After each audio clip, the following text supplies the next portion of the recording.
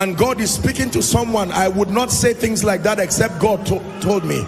Your destiny is in the United Kingdom. I don't know who that person is, but this is what God is saying. Your destiny is in the United